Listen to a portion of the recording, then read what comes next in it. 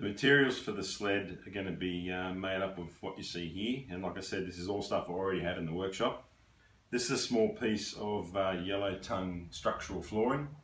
Now being structural this stuff is much denser than normal chipboard and you can tell that just by the weight in that very small piece. So that should make a good base for the sled. Oh, for the runners, what I'm using for the runners is this stuff here. I've already cut them but this is just that plastic, um, plastic chopping boards that you get for the kitchen.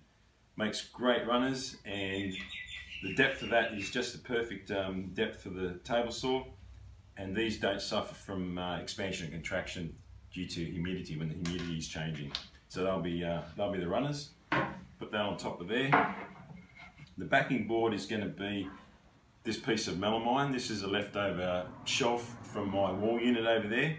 Um, some of you would have seen me using this when I made the tenoning jig for the, sorry, the mortising jig for the router. These edges on this board are the factory edges, so I measured them and I found which one was a perfect square and I've marked it there and that one there's the perfect square and I verified that as well by, just move that out of the way, by putting it up against an edge that I know is straight marking a line on the table and then by flipping that over and lining it up with that line it lines up perfectly. So I know that that corner there is a square. So we'll mount the base onto those runners. I'll cut this backing board down to a square so probably across there and then maybe take the bottom of it off and that's going to sit on the base something like that. And then in the front here I've got this very thin strip of aluminium. I think it's one millimeter. Yeah, it looks, looks pretty close to one millimeter. Cut that in half. I'm going to insert two strips here. They'll be recessed into the board. And along the edge of that backing board, I'm going to have this, uh, again, this is one millimeter aluminium angle. Have a piece sitting there and a piece sitting there. I'll mount all, I'll cut these pieces roughly mount them onto the um, onto the board, and then after they're all after they're all in place, then I'll cut the kerf through the um, through the sled. That way, I'll get that uh, zero clearance that I'm hoping for.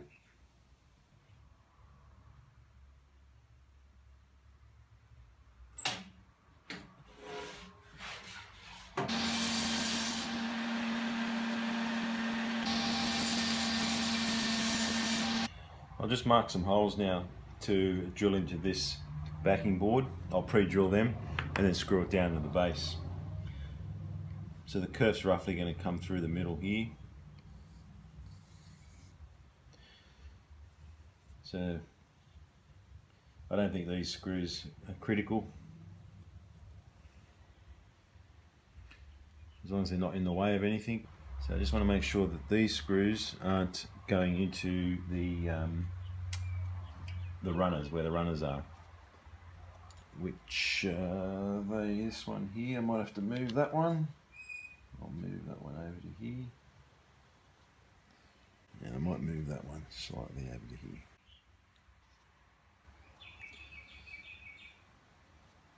And one more for good measure.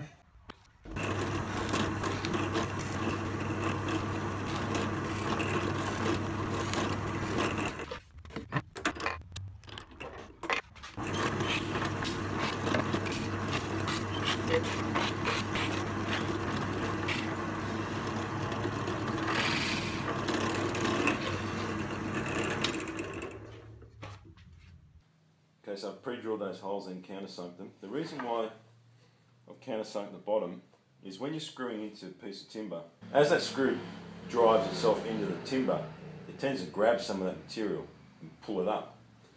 And if that material's got nowhere to go, what can happen is it can cause a gap between your two pieces of um, board that you're trying to screw together. So by giving that material a little bit of a relief, that way you eliminate any gaps and that will sit dead flat. Okay, so I'll just use my uh, speed square to line this up now. When mounting this backing board, we want to try and get these edges as close as we can to 45 degrees to the blade, but that's not critical. What is critical is that this angle here is 90 degrees, and I'll explain that later. But the way I'm going to get this as close as I can to 45 is just by using my speed square against the fence. Make sure that fence is locked in place. And drilling one screw for starters. Okay, let's check that.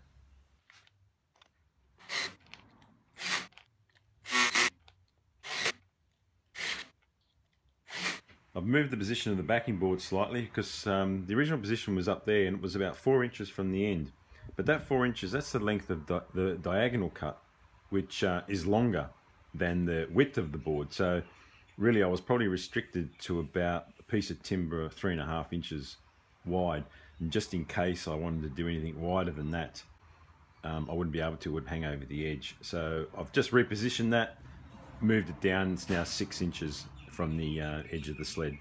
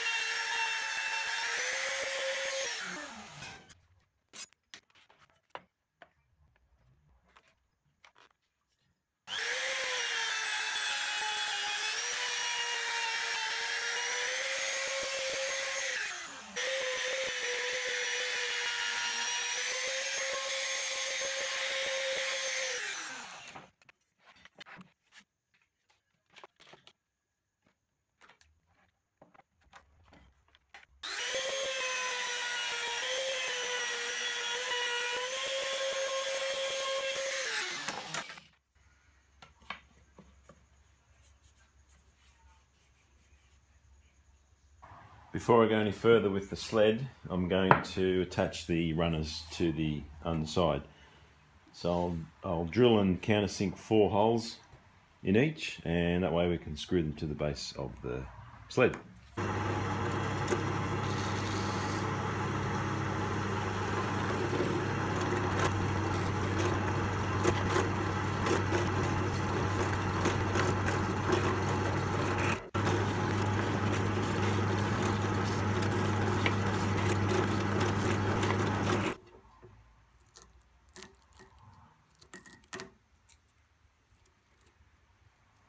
Okay, so I've got a the center line of my backing board marked there. If I use that to line this up with the center of the table saw blade, yep, that's about right.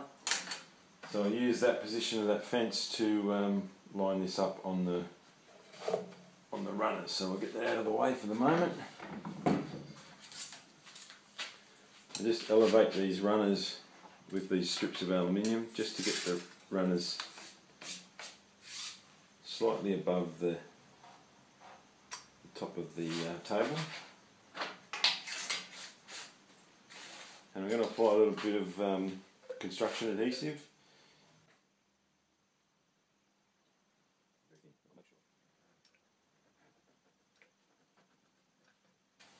We'll just set the sled on top of those and let it and let that dry up overnight.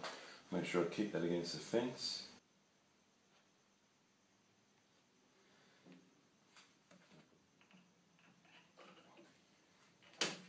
So I've let the um, runners on the sled glue up overnight and all we'll do now is just whack some screws into them, make them a bit more permanent.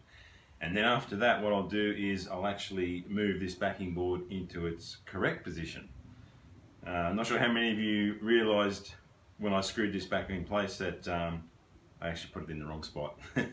so it's got to be moved back. No harm done, it's not glued in, so it's an easy fix.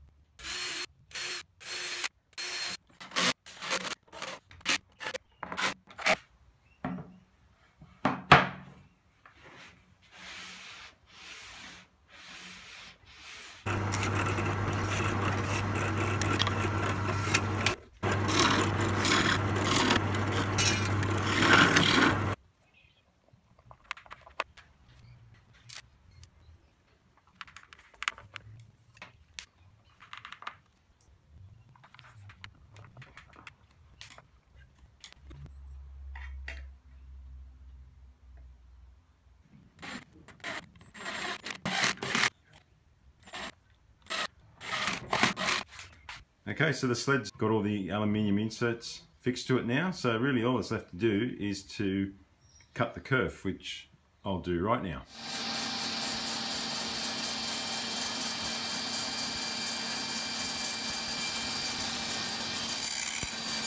Well, the sled's pretty much finished now. Um, all that's left to do is give it a test run. So what I'll do is I'll use a couple of pieces of this architrave that I've got lying around and I'll cut a miter on this piece here on this end and one on this end and uh, bring them together as a joint. Earlier on in the video I did say that it wasn't critical that you got these fences uh, exactly 45 to the blade although you do want to um, get as close as you can to that if not dead on. But what, uh, what is important is that uh, this angle here is an exact 90 degrees and regardless of any little variance you've got this way as long as you cut one piece on this side and the other and the mating piece on the other side, that angle will always add up to 90 degrees. So we'll give it a test run see how it goes.